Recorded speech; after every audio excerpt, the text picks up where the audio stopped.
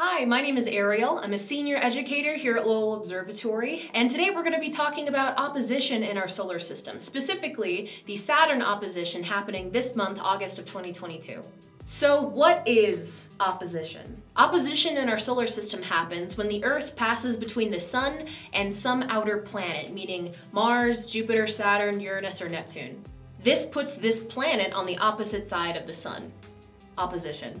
Normally during an opposition in our solar system, the planet that's at opposition is at its closest approach to Earth, making it for one of the best times of that year to view that planet in the night sky.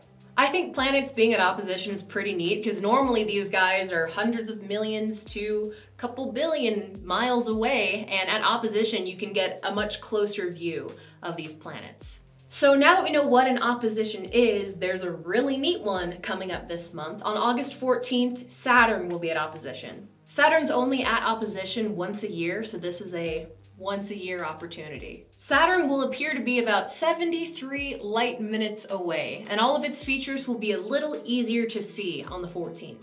One of Saturn's features that may be easier to spot during its opposition is the Cassini division, which is one of my favorite things to look at on Saturn. It's a gap between Saturn's rings that spans about 3,000 miles, or nearly 5,000 kilometers. Some of Saturn's largest moons might be a little easier to view as well, including Titan, which has oceans of liquid methane, or Enceladus, which has cryovolcanoes, or Mimas, that looks vaguely like the Death Star. If your viewing conditions are great while you're looking through your telescope, you might be able to catch the storms on Saturn's visible surface. Saturn has storms just like Jupiter does, except Saturn's storms are a little less dramatic than Jupiter's. You won't see uh, Saturn's tan lines. If you happen to be in Northern Arizona on August 14th, definitely come on over to Lowell Observatory and see for yourself Saturn at opposition through our telescopes. If you can't be in Flagstaff during Saturn's opposition, check out our most recent episode of our Star Stuff podcast where we talk all about it.